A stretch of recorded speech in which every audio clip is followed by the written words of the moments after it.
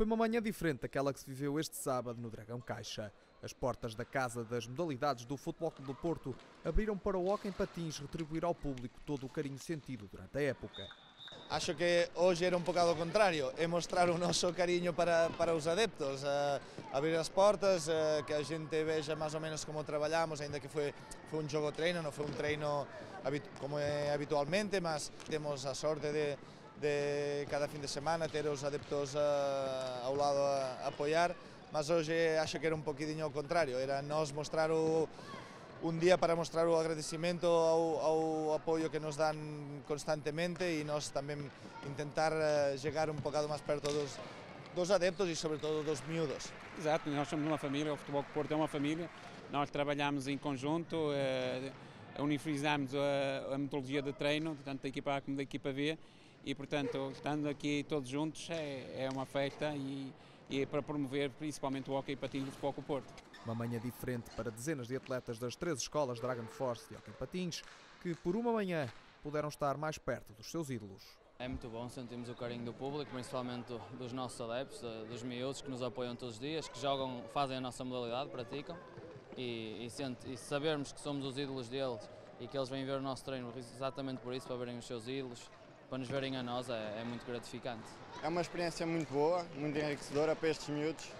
poderem tal como nós também já passámos por isso, na formação, ver os nossos ídolos na televisão e por momentos não podíamos estar perto deles. Acho que isto é muito enriquecedor tanto para o clube como para a escola Dragon Force e dar-lhes a oportunidade de estarem perto e ter um contacto maior e mais próximo com os ídolos. Alguns desses ídolos fazem parte do crescimento dos jovens inseridos nas escolas Dragon Force, seja em presenças nessas ditas escolas ou a integrar a equipa técnica de algumas formações. Sim, muitas das vezes fazemos o contrário, levamos os ídolos aos mais novos. Portanto, normalmente levamos às escolas, às escolas alguns atletas durante o ano, uh, criamos iniciativas uh, com, esse, com esse fim. Um, já temos três atletas sénior da equipa A que são adjuntos de, de, algumas, de algumas equipas da,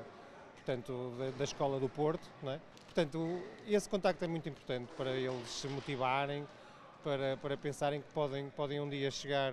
chegar aqui, jogar neste, neste pavilhão, é? que, que, tem que ser um objetivo uh, de um atleta a Porto. A manhã deste sábado foi diferente também para os adeptos do futebol do Porto, que puderam estar perto da equipa que terá o primeiro clássico da temporada ainda em 2017.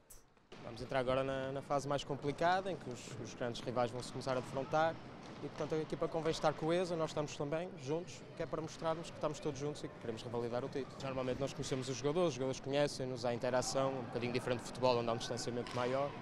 e portanto há um sentimento quase de família em que todos nos conhecemos e portanto é mais importante estarmos cá presentes. Acho muito bem, acho realmente que é uma iniciativa a Porto e é aliciante, inclusive até para os, para os, próprios miúdos, como é o caso do meu neto que está aqui atrás de mim, que está a iniciar, está a, a iniciar a prática do, do, do hockey patins, eh, de modo que isto enquadra-se perfeitamente na quadra natalícia,